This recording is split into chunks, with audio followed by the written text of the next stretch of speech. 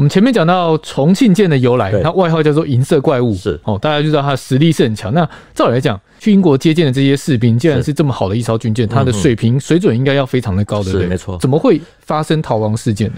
那个时候派去英美接见的这些士兵呢，很多都是响应“一寸山河一寸血”，十万青年十万军的青年学生，所以他们的民族自信心是比较强的。他们在接见的时候。根据现在的一些回忆文章啊，就可以看得到，有的人在喊集合口令的时候，坚持用中国话，就是不用英文。那英国军官呢，就要求改正啊，这有人就直接就拒绝，直到被撤放为止。另外呢，重庆号上面有养了三只的黑猫哈，这也是很多海军或者说船舰的传统啊，那大家都很爱护。在从英国回国的途中。结果有一只黑猫跑到了英国一名海军中士的房间，不知道怎么样就被扔下海。那一位中国水兵呢就看到了啊，就质问说为什么要这么的做啊？就两个人就大声争吵，就人越聚越多。结果那位英国士官说他认的是英国猫，接见的水兵呢啊就说你现在这艘军舰是中国的。你扔的是中国猫，就是如果不道歉啊，就有你好看。对，争吵中呢，就是人越聚越多，那有人就很气愤的说：“把这个人都给他扔下海。”最后双方的军官就出来劝解。这位英国的士官呢，就在到达马尔蒂夫的时候就被护送下舰，好，先回到英国去啊，以免后续真的被人家扔到海里面去。从刚那个事件看来，其实这一些海军都有很强的民族自尊心啊，怎么最后会演变成那样的事件？因为中英官兵的中间有这些不愉快，被桂永清知道以后呢，他在训话的时候也拿这些来做文章，啊，就增加了他和舰长邓兆祥之间更多的误会。另外呢，在一九四九年年初，国民政府那个时候本来就已经是风雨飘摇，他们又回到上海，那上海的经验圈又急速的贬值，其实都是。连带的影响了重庆号的整个的那种气氛，所以二月的时候呢，趁着重庆号回到上海保养的期间，部分的比较年轻的官兵啊，就跟中共地下党联系，成立了重庆军舰士兵解放委员会。到了二月十七日啊，重庆号就奉命开往吴淞口，然后就准备要待命。那那个时候结委会呢，他就感觉到说重庆号。这一趟的行程可能是要到长江啊，就是江阴附近去阻止解放军过江，所以他们就决定起义。对国民政府来说，当然就是叛变。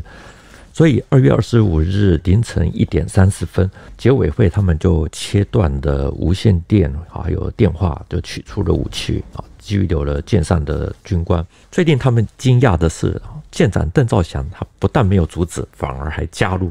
啊，这位邓兆祥是什么来历？他。照来讲不应该有这样的决策啊。邓兆祥他是黄埔海校十八期的，他一般被归列到闽系。他个人条件其实很好，在一九三零年哈曾经前往英国留学，就读于格林威治皇家海军学院、英国海军一类学校等等，所以他的条件是很好的。可是因因为桂永清他接了海军总司令以后呢，对闽系的海军不信任，所以摩擦越来越多。最后啊是重庆。号在邓兆祥的指挥下，就开出了吴淞口，在二十六日清晨抵达了烟台。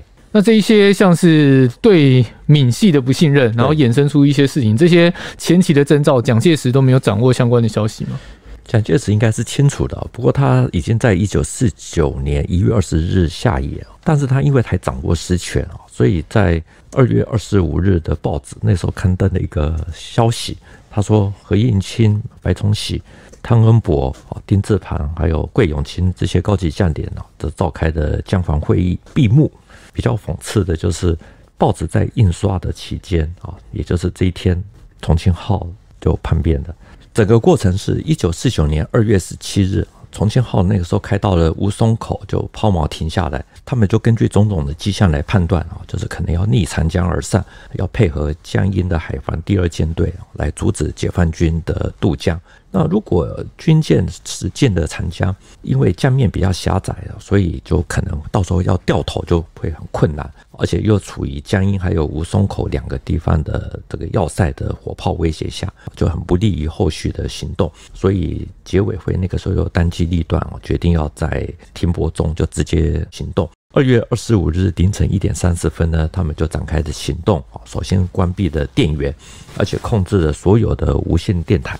一部分的人就把甲板上的哨兵，还有在司令走廊值更的士兵，就把他们诱骗到了雷达室，然后就直接缴械，开弹药库，就开始武装啊。接着他们就按照分工的计划。然后就开始陆续的把军舰上面的军官啊一一的拘禁。那整个行动呢，其实是进行的很顺利。但是呢，他们为了要以防万一，哈，所以那个时候还做了一个最坏的准备啊，就是还派了两个人准备要炸舰。其中有一位叫陈宏远的水兵，他把三四十发的四英寸的炮弹哦，全部都堆积在弹药库的走道上面。然后引信呢就外露，万一失败的时候就要呃引爆，把整艘的重庆号炸成同归于尽。那邓兆祥呢本来是不知道这件事，啊后来他知道，就也考虑到了舰上的几百名官兵的生命，所以就很快的就决定加入了这次的行动，而且还致电了航线，啊下令开航。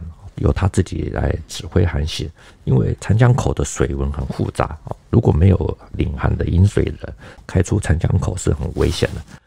整个过程都没有人去阻止吗？邓兆祥他在不知情的情况之下，他知道了，他就加入。那其他的军官不是水兵的，这些军官就被拘禁，所以他们的行动进行的是很非常顺利。对，那个时候我们前面有提到的，就是清末的。两广水师提督李准的儿子李相普啊，他也参加了这次的行动。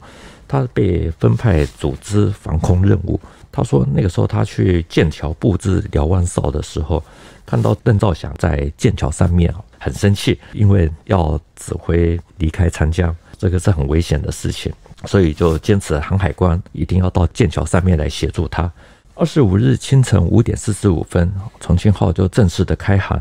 快的就顺利的驶出航道非常复杂的长江口，很快的就转向北上，然后用每小时二十四海里的速度呢，就向烟台前进。那事情发生就发生了，对不对？对，军舰开走就开走了，是总是要报告老板。那谁去报告老板？重庆号大条，这事情更大条，所以没有人敢向老蒋报告。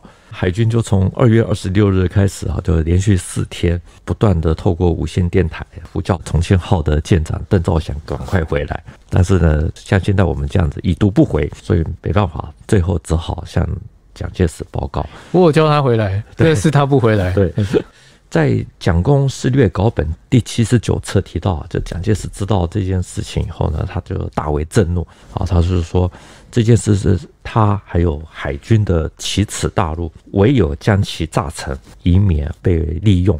我们先前讲到江阴要塞，那其实那时候说戴荣光他是不是真的叛变？对，比较是偏向是他是被起义的，所以我很好奇说，那重庆舰的舰长邓兆祥，对，他是真的有参与，还是他其实也是被起义？重庆号它是一艘洞舰观战的军舰啊，所以那个时候监委啊。也立刻调查，而且速度非常的快。在重庆号制成没有几天啊，在一九四九年三月二十六日那天的报纸有刊登的一个新闻，他说监委调查结果出来，就发现到说是海军内部派系摩擦所引起的，而且还直接挑明说是桂永清跟邓兆祥之间的不愉快。报道还说，重庆号只有邓兆祥才能够指挥操控，所以只要看这艘驶入了葫芦岛泊靠，就知道一定是邓兆祥亲自指挥。那我们前面也提到，就是在没有领航的情况之下，驶出了长江口，其实也是邓兆祥他亲自操控。所以所有的证据都指向，其实他就是有参与，然后还主导这样。呃，应该没有主导，但是有参与，就是协助。对。